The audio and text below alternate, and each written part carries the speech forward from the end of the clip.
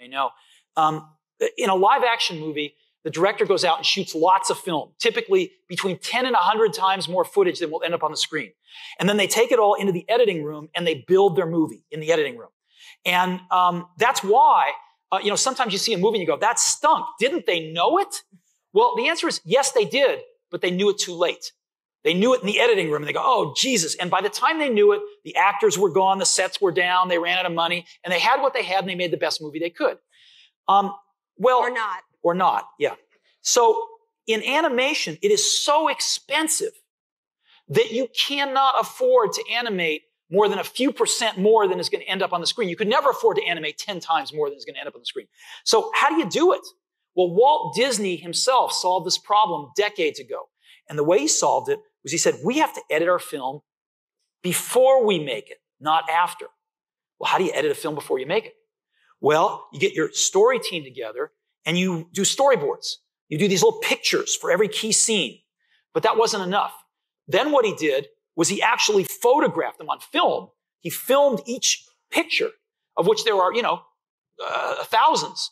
And then he got his, his, his, he got scratch voices, people around the studio to do the voices, and he'd even put in some scratch music. And then he could watch his movie.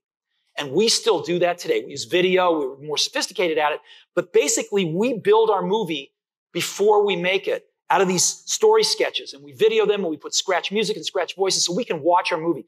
And invariably what you think is going to work crashes and burns when you see it in the reels. And you iterate on these reels thousands of times. And only when it works in the reels do you then go animate it and huh, actually produce it. And, and so, you know, in Hollywood, uh, one of the most popular sayings is, you know, the story is king. But it turns out it really isn't.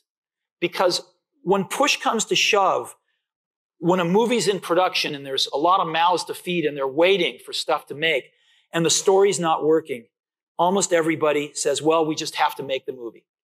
And one of the things that I'm proudest of Pixar of is we have a story crisis on every movie and production's rolling and there's mouths to feed.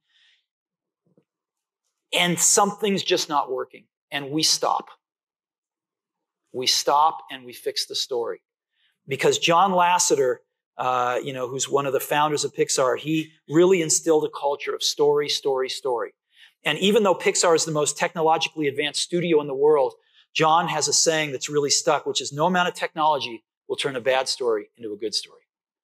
So um, that's, I think, one of the reasons why we've been so fortunate is that we get to look at our movies before we really make them and perfect them in reels and then go make them.